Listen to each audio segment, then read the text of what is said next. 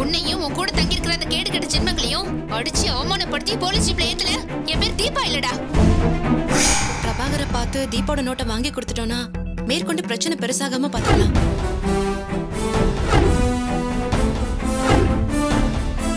கடைசியில நீங்களும் மோகன் பிரபாகர் மாதிரி சராசரி ஆம்பளைங்கிறத காட்டிட்டீங்க. இதுக்கு மேல ஒரு நிமிஷம் கூட என்னால இங்க இருக்க முடியாது.